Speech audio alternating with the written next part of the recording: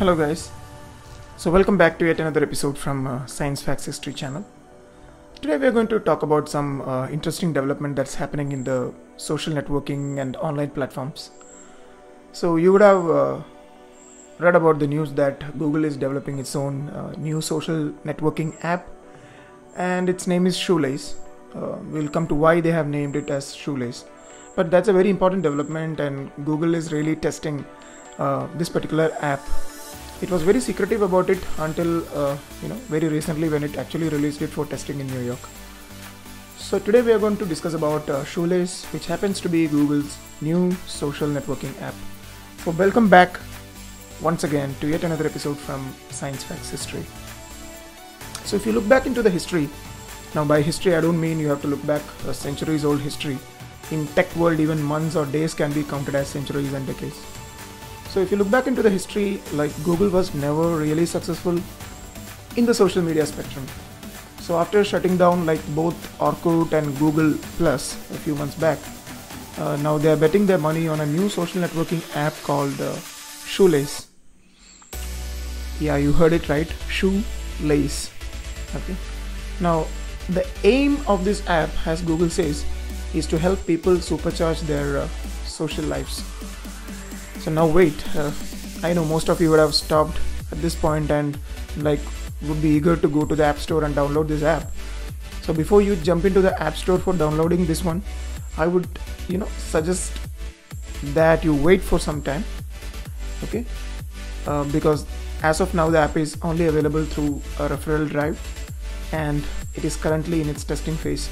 So somebody has to refer you somebody has to send a link from their shoelace account so that you can register and download the app and use it.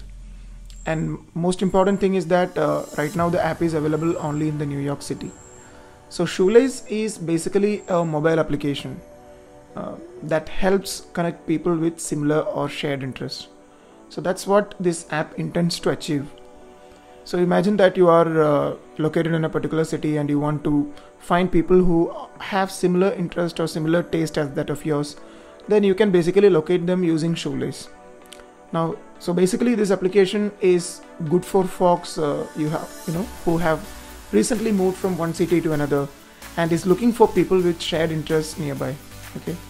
So shoelace was built by a small team of innovative engineers in area 120 uh, which is basically google's cutting edge workshop for uh, experimental products. So there are a lot of products that are being developed in uh, this famous uh, you know workshop of Google, which is dedicated for you know experimental products, developing experimental products. So Google's mission is to use technology as a medium to help people connect more effectively. So that's the fundamental you know philosophy behind developing these kind of apps. So you may be very curious as to why Google chose the name Shoelace for this new app, and rightly so because it's very curious, right? Shoelace, what does it mean? So Google says that the whole idea behind developing Shoelace is to you know tie people together based on their interest. Okay? So just like the two laces of a shoe if you have similar interest you connect with each other and form loops. So they are able to achieve this through activities uh, that are effectively called loops. So you have a loop uh, when two people share the same interest and they connect. So that's the basic understanding behind this app. Now let's come to the technical details. So you'll be wondering like um, which all devices and operating systems can support this uh, software so coming to the technical details, so Shoelace currently supports both Android device like version 8.0 or later and even iOS version 11.0 or newer version is also supported. So the most important thing is that uh, you should have an active Google account to use this app. That's the most important thing. So if you have that and if somebody refers you, you can just download it and use it and basically like you can uh, you can download it and use it if you are in New York because that is where the testing is actually happening. So you know hope you found this uh, video to be very useful and helpful. So if you did then please do not forget to like share and subscribe to this channel.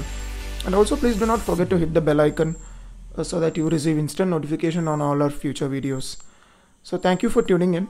Uh, we'll bring more exciting uh, technical as well as uh, you know science related articles and uh, videos in the future.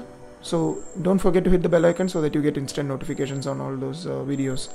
So thank you once again guys Bye bye. Have a great day.